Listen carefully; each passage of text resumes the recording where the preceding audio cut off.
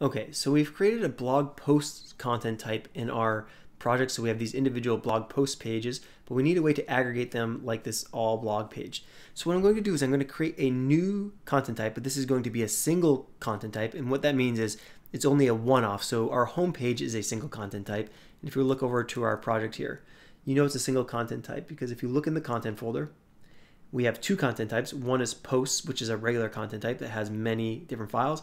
And then there's a single content type index, which we're using for our homepage here. So if I were to come back over here and look at our homepage.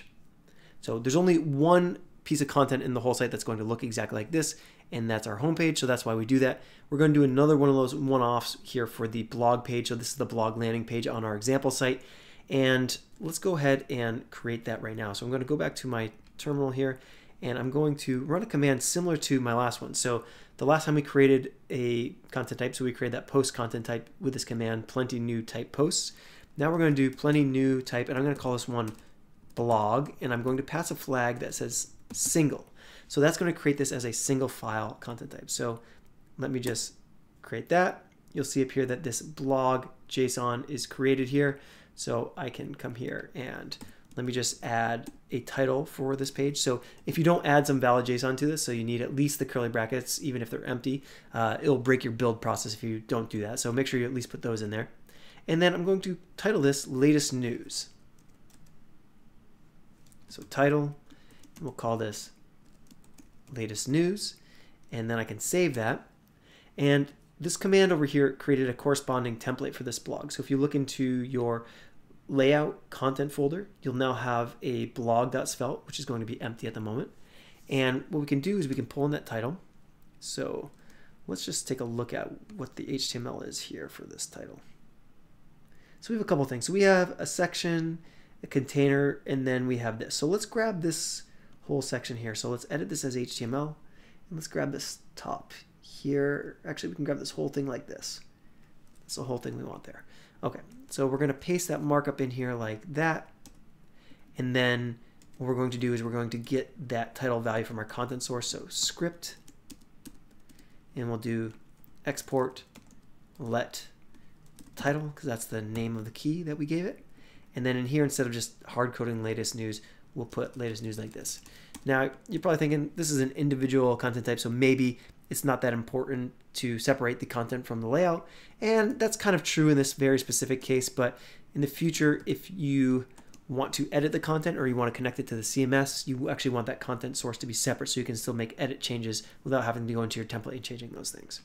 So there we go. We have a blog and it has title, title. Okay, so let's save that.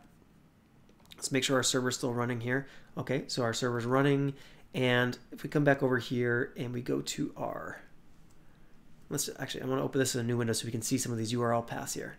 If we come over here to our blog page, you can see here we have the latest news title printed there. And let's make sure we have the right path. So this is in a theme folder and a subfolder called this, but the actual path that we want added there is blog. So we're keeping with that format. That looks great. Now, notice that on this page, there's actually no other styles. There's no other content in here besides content that we're pulling from other sources. So these are all individual blog posts that we're pulling in. And so we're not actually getting that content from this page specifically. We're actually pulling them from other objects. So I'll show you how to do that in just one second here. But first, let's see what's going on with this style. This looks like a little thin here. So I want to see what's happening with this H3 here. So I'm going to get out of the edit as HTML. I'm going to click on this H1 and we have this display 3 text here and we have some overrides. So let's grab these. I'm going to grab that and I'm going to put that down here. I'm going to create a style tag and I'll paste that in here. So we can scope that to the specific element. That's fine here. Save that and then come over here and reload this. Okay, so that made it a little bit smaller. And let's just see what's giving it this weight. So this font weight here. Let's grab this as well. Make sure these are coming through. Save. Come over here. So I'm just playing around with this here, and it looks like the font weight is closer to about 500. Now, I'm not sure exactly where that style is coming in, but I think I feel comfortable just calling it that. So let's come back over here and get this more similar like that. And come back over here and reload this. Okay, so now we have a font weight that looks similar to what we're seeing here. And now we can think about start pulling in some of these blog posts. The easy way to just pull in some blog posts would be, let's take a look at what the markup looks like for each one of these. So we have the container here. We have a section, and this incorporates all this different information. So let's grab this container here. And let's copy all this. And let's bring it in. Let's see, this is outside of the header section here, so these are separate. So we'll put it below this section that we already have here. And it looks like I didn't get that ending section here. So this should have another closing section tag. Okay, and let's do a couple things here. I didn't get the opening section either, so let's make this a section. Okay, and we already have the close, so that's okay there. And let's just format this real quick.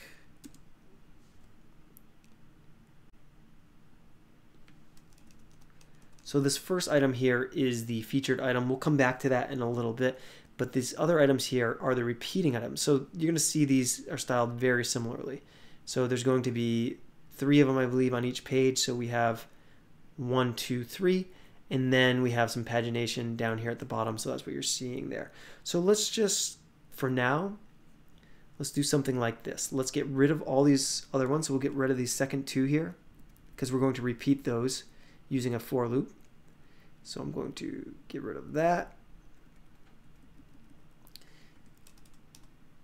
Pull this pagination.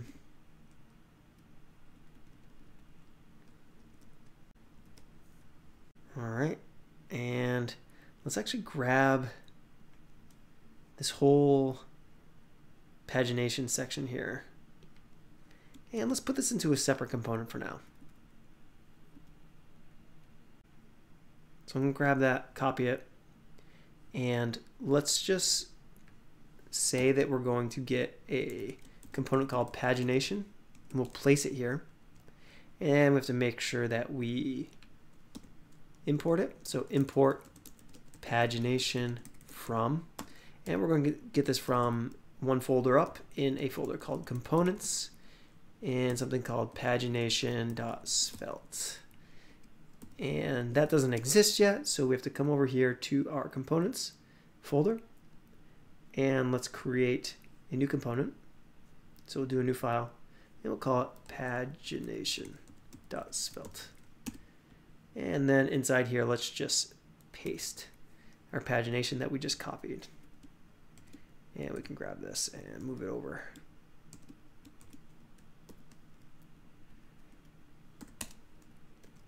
And for now, that'll be okay. It's hard-coded with all the wrong values at the moment, but for now, we'll just say that's okay. And let's just come over here, and our site's going to be a little broken, but let's reload this and see what's going on. Okay, so we're pulling in a bunch of information. So we have the featured item here, and it's getting the URL and, the links and everything from the Hugo site. So you see it's still linking over there. So that's not correct, but but we can add our own information in there.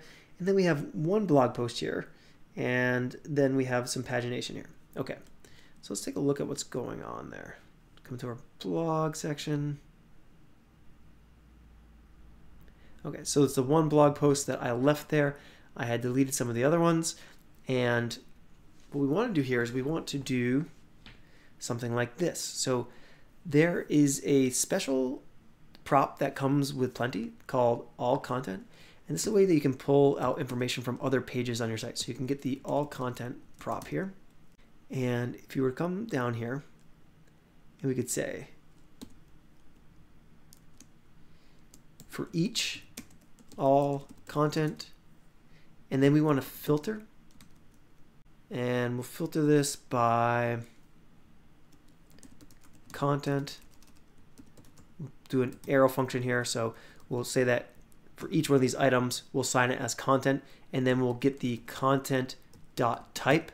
So every node in the backend is going to have a content type, and we'll say give us only the post, or they're called posts rather, so plural post content type. And so we're filtering that, and we'll filter each one of those as post. And then we'll end our each loop right around this block here. And then inside here, we can get the values from each one of these individual posts. So for instance, we have our image source. Now this is going to be like the last one, so we're gonna come here. And we'll do something like this. We'll say assets. And then instead of post1.jpg, we want to get whatever post it is. So we'll say, give us the post dot fields. So because they're fields that we specified, we specified our own content source, they come in this property called fields. And we have a field called image for this. And image has a sub property called source. So we're getting that information just like that. And we'll similarly get this alternative text here. So let's just do something like this. And we'll say, give us the post dot fields image dot alt. Okay.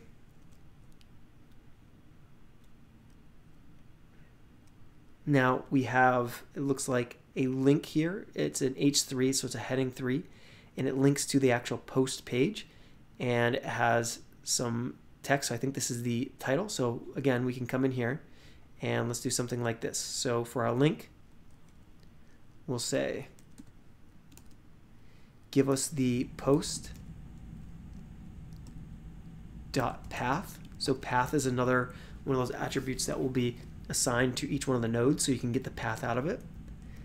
And over here, this would be, let's see, let me grab this. And this would be the post title. So we'll go post dot fields again because this is a key that we defined ourselves, fields title. And then we have that. Now we also have so text, so heading example. So let's take a look at what we're seeing here. Here's an example of headings. Okay, so this is some of the truncated text from the post. So for now, let's just get the, the body and we'll adjust that later. So let's come in here and I'm gonna grab this and I'll say, give me the post dot fields dot body. And again, we have a read more link and it goes to the same thing as what our title was going to. So we can basically use the same convention here. So I'm going to get rid of this href here. And we can do the same thing we did up above. So we can do post.path, copy that, and we'll do post.path there. And we can leave it as read more. And let's just save this and see what we're working with here. So I'm going to first just fix this indentation. And let's save. See if we get any errors. That built, that was okay. Okay, so then let's reload this. Okay. So now we're getting these posts here. Now you can see that we're getting some HTML that's thinking that this is a string. That's because we didn't actually tell this body field here that we want this as HTML. So you come in here and if you wanted to, you could say display HTML. Although that's going to give some of that, oops, that will allow some of the formatting to come through. So you'll start seeing bold uh, text here, which may not be something that you want, but let's just reload this. Okay, so now you see paragraph and you see it like that. Okay, so that kind of works. Um, our links here should be going to our actual posts now. So if we click on one of these, it actually goes to one of the posts. And if you click over here, again, we're still on our local site, but it's going to the post, so that's working pretty good. But we have a couple of issues. So